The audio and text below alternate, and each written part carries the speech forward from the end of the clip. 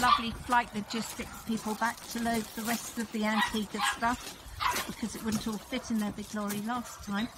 And uh, and then it's leaving next week for Antigua and it should take about three weeks. We are very, very grateful to them for all the work they've been doing voluntarily. Reading all the Simparica that you guys have bought for for them. And let's have a shot of the lovely driver. Thank you very, very No much. problem, Absolutely right? amazing what you've done for us and your company. Really, really appreciate it. We're just glad to Thank you. help. So this is their logo. If you see them, smile because they love dogs. Thank you.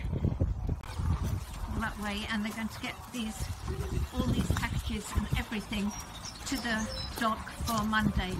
How generous is that? It's taken them men many days. They're driving, they're storing it for us until they can get it all to the other storage.